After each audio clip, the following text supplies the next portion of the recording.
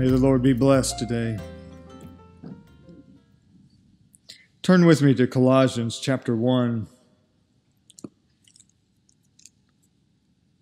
was looking at this this morning, kind of in connection with what I talked about last week. The battle for our mind. And here in Colossians chapter 1, notice verse 21. Paul says, Although you were formerly alienated and hostile in mind, engaged in evil deeds, Jesus has now reconciled you in his fleshly body through death, in order to present you before the Father holy and blameless and beyond reproach. You know, we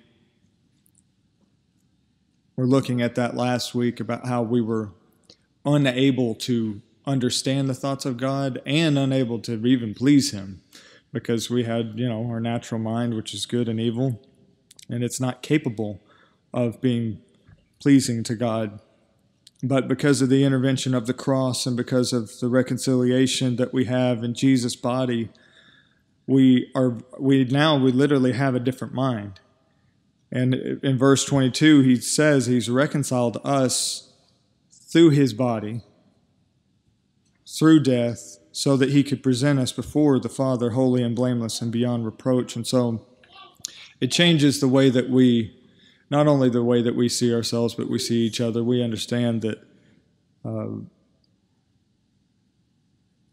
I mean, it bears repeating over and over and over again. We're not pardoned criminals, but we are.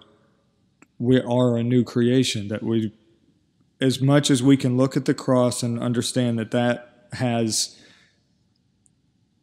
no limit to its redemption that's the hope that we have in our position with our Heavenly Father. That is the only way that we're able to believe what He says. It's impossible. You cannot believe the promises of God unless you believe that you are the one He made them to. He says in verse 23 if indeed you continue in the faith, firmly established and steadfast, and not moved away from the hope of the gospel. So you see, it's it, it's something that happens often that Paul even, you know, he has to give insight into that because it's it's easy to be moved away from the hope of the gospel, and our hope always has to be tethered in that, and it can't be, you know, it, it can't be tied to circumstance. It can't be tied to the thoughts that you're having in any given moment. It has to be tied to the hope. Your hope has to be tied to the the cross, the gospel, which we have heard, and Paul says, which was proclaimed in all creation under heaven, and which I, Paul, was made a minister. Now, notice how he kind of ties what he was just saying that we understand that we were enemies of God. We had a different, a whole different mindset. Now we have the mind of Christ. We can understand his thoughts and we know his promises are, are for us. And every intention that he has for us is only good. It's impossible for him to be anything but good. It's impossible for him to lie. It's impossible for him to do anything that is for our harm. And Paul says in verse 24, understanding that, now I rejoice in my sufferings for your sake. And these weren't these weren't something that was quick. With Paul, you know, we get an insight onto into somebody who had a lot of pressure put on him over a very long period of time. But he was able to maintain the hope that he had and keep the right thought life because he's you know he's he saw the value and understood the purpose in it. That's when he says i rejoice. I'm able to actually have joy in the midst of sufferings for your sake. And in my flesh I do my share on behalf of his body, which is the church, in filling up that which is lacking in Christ's afflictions. I spent a lot of time thinking about that scripture because it always was very, um, it's just a confounding statement that there, the work of the cross is fulfilled. Jesus left nothing undone, but also there is a part that we play in filling up Christ's afflictions obviously that's what Paul is saying that he rejoices and he does his part.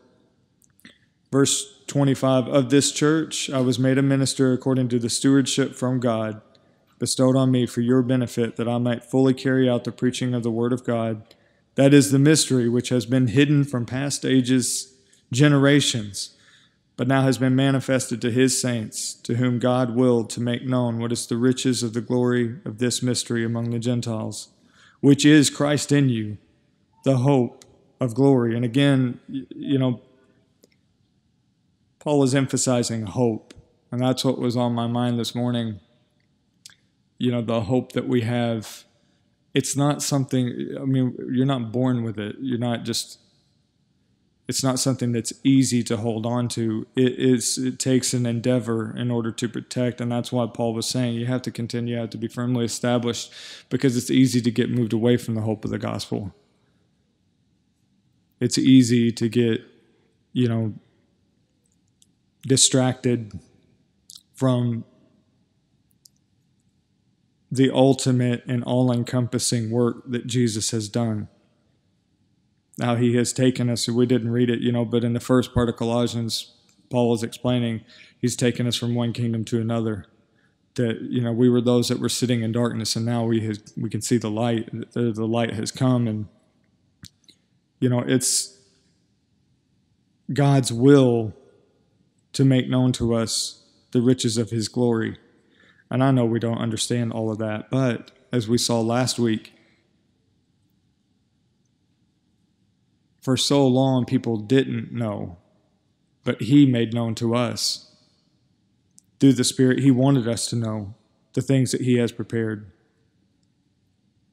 And it's our hope for glory. Verse 28 So we proclaim Him, we proclaim Jesus, admonishing every man and teaching every man with all wisdom, that we may present every man complete in Christ. You know that's the thing. It's like as long as we're on this earth there's more work that we can do.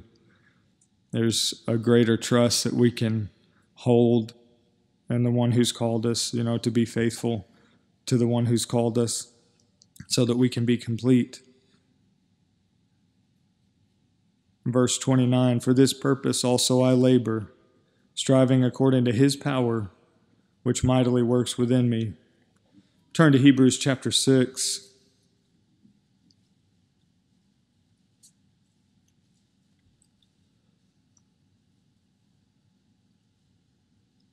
Hebrews chapter 6, look at verse 9.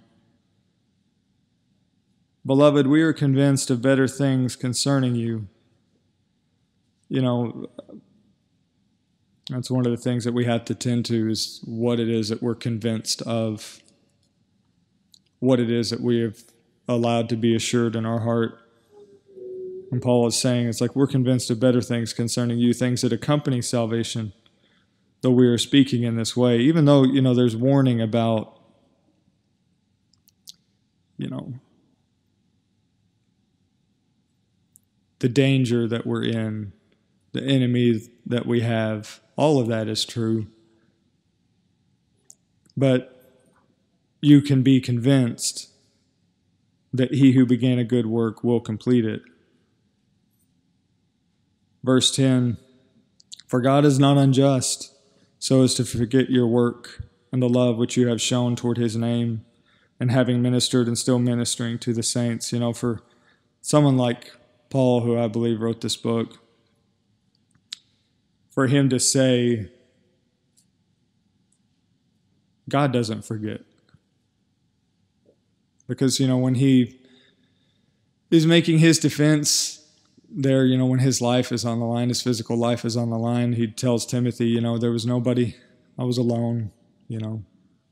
It seemed like everything that he had worked for had just fallen apart.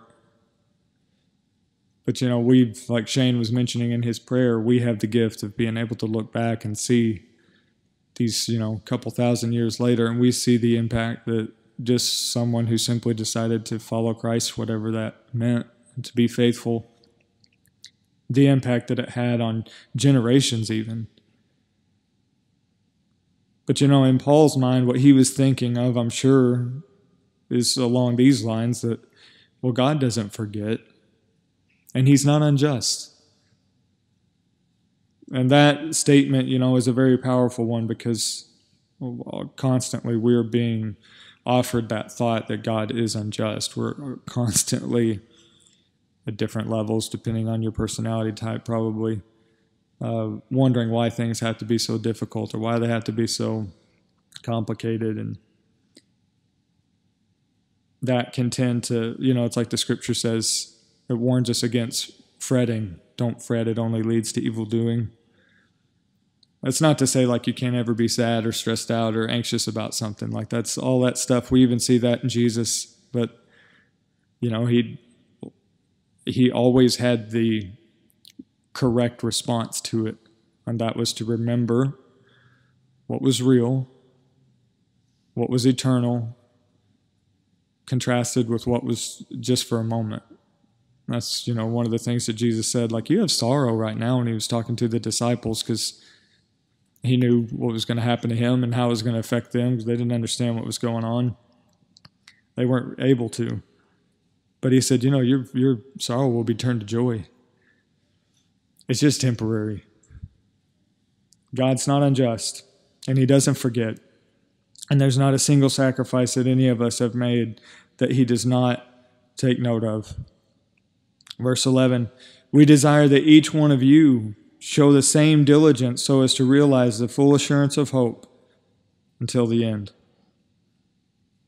You know, that's one of those things like God makes it available, but it is difficult to actually have like the full assurance of the hope that we have in Christ. You know, I know none of us here doubt the work of the cross, but oftentimes we don't have full assurance of the hope in the cross.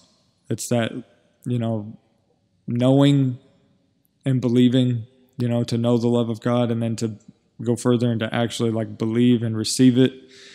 You know, those are steps that we go through. And you're in different places depending on what season you're in or what's going on, what God is doing, the growth that He's bringing in us. But that's the one thing that you always have to remember is that, you know, I was watching Emmy walk back there, and I was just thinking about like how long it takes a child to learn how to walk well, because he's been walking for a little while, but you know he's he's not real super steady. It's easy for him to fall over, but the the the amount of time that it takes him to be able to walk as well as he will is relative to how free he's going to be.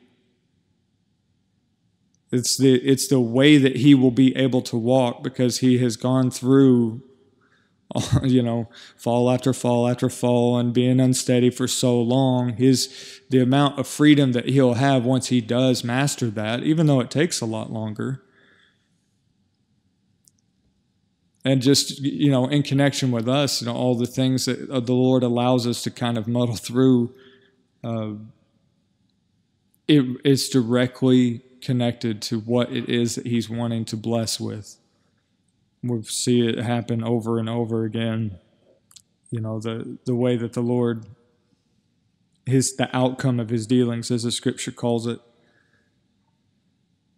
So we we're to show the same diligence so as to realize a full assurance of hope until the end, that you may not be sluggish, but imitators of those who through faith and patience inherit the promises. You know, Abraham is mentioned as, you know, one of those who waited patiently to obtain the promise. And down in verse 19, it says, you know, we have this hope that's set before us. It's an anchor of our soul, a hope both sure and steadfast, and one which enters within the veil. And it's because Jesus has gone before us. We understand that our position before the Lord is because of that and that alone. Philippians chapter 1.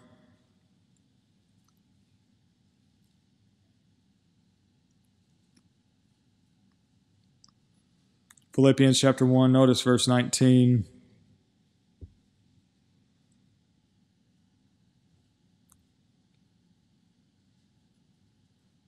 Paul says, I know that this shall turn out for my deliverance through your prayers the provision of the Spirit of Jesus Christ according to my earnest expectation and hope, that I shall not be put to shame in anything, but that with all boldness Christ shall, even now, as always, be exalted in my body, whether by life or by death. You know, that's one thing. It's there's lots of stuff that we can't control. There's lots of things that are beyond our reach, but we can always make a choice. Like Paul was saying here, to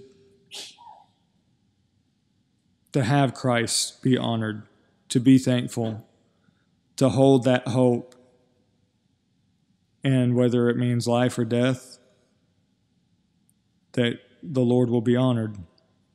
You know, because we have we've already entrusted our life to him. Verse 21, for to me to live is Christ and to die is gain. But if I am to live on in the flesh, this will mean fruitful labor for me. I do not know which to choose, but I'm hard pressed from both directions, having the desire to depart and be with Christ, for that is very much better.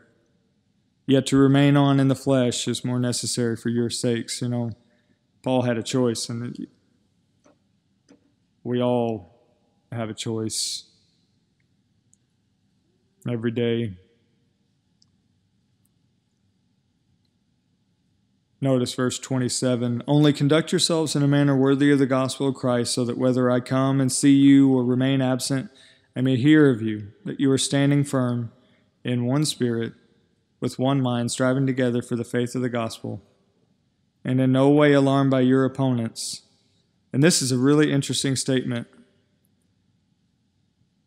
When we do this, when we stand firm and we put, you know, our faith in the work of the cross, it says, This is a sign of destruction for them, but of salvation for you and that too from God. You know, it's like God sees that, and you know, it is that distinction is made so clear. You know, this is our sign of salvation that we can be assured. Notice verse 29 For to you it has been granted for Christ's sake not only to believe in him, but also to suffer for his sake. And in Romans chapter 5,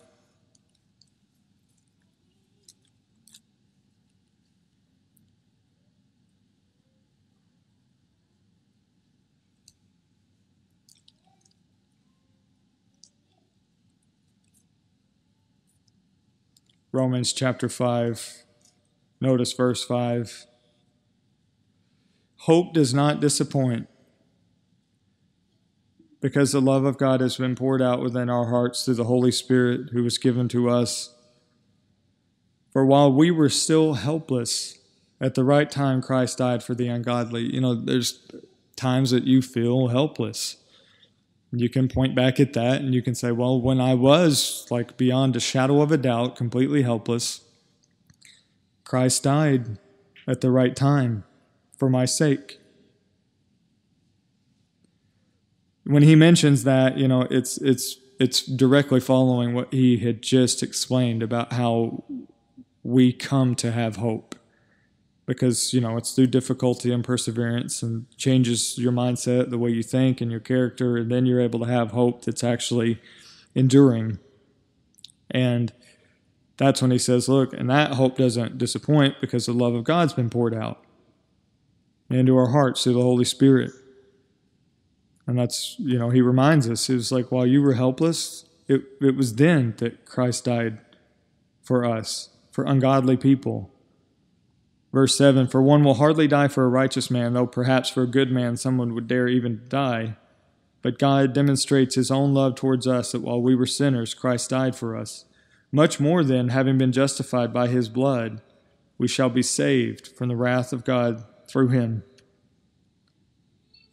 You know, that it's it's not just that's Paul's making the distinction there. It's not just that God had mercy on you, but then he took it further and made sure that you knew that you were